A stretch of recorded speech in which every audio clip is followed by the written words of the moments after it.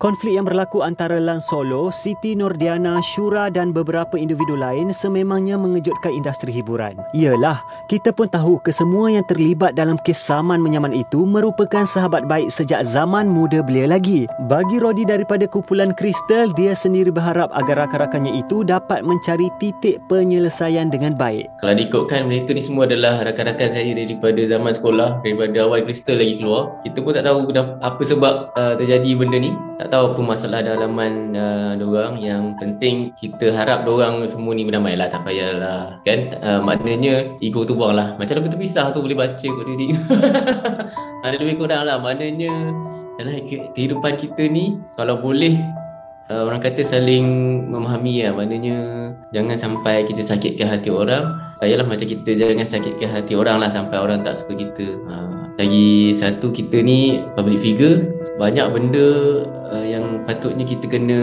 hati-hatilah. Uh, sebab di mana-mana saja akan ada orang yang memerhati kita. Uh, harap harapan Rodi tak ada apa-apa pun. Uh, moga orang berdamai lah benda ni pun dah lama kenal kan? Kadang-kadang tak ambil tahu tapi kadang benda benda ni lalu kan?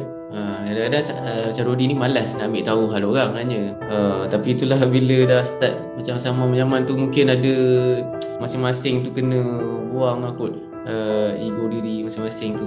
Uh, kan? Berdamai je lah kan? Betul tak? Itulah yang boleh Rodi komen pun tak boleh nak komen lebih lah. By the way Rodi, cerita sikit pasal lagu baru yang berjudul Terpisah tu. Uh, Lirik dan lagu dicipta oleh Acoy Floor 88 uh, Lagu ni kita record tahun lepas silap ujung-ujung tahun tu kita record. Sepatutnya rilis bulan um, 4 tapi sebab pasal PKP ni kan.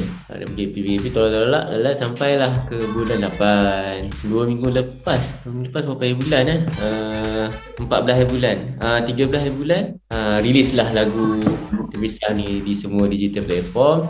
Dan hari Isnin tu uh, rilis dekat uh, MVM channel lah eh. apa music video terpisah